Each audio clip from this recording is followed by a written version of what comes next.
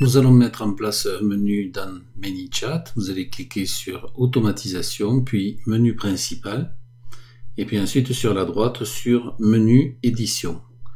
Donc euh, on peut maintenant placer trois éléments maximum dans les comptes pro et deux dans les comptes gratuits et cinq sous-menus. On va placer notre premier onglet, on va cliquer sur éléments de menu, on va changer menu item en double-cliquant dessus et en marquant service.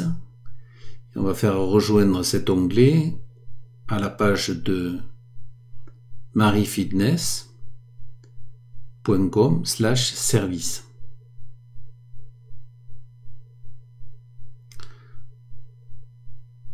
On va publier. Dans le deuxième onglet, on va inscrire contact. Et ensuite, on va ouvrir deux sous-menus le premier qui va être prendre rendez-vous,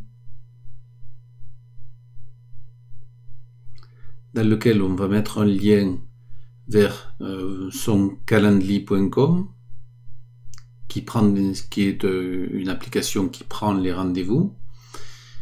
Et ensuite, un chat direct.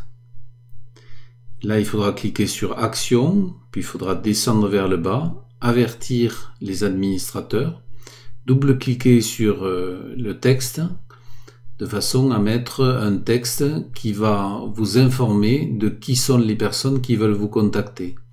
On peut rajouter d'autres identifiants, des lieux, des informations qui ont été notées dans le chatbot.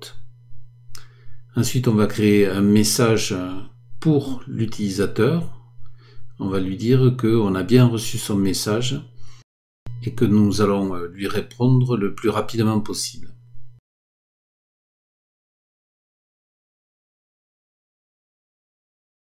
Évidemment, on n'oublie pas de sauvegarder, utilisez le lien d'affiliation qu'il y a dans la désignation de la vidéo et n'oubliez pas de vous abonner à la chaîne pour recevoir les prochains tutoriels.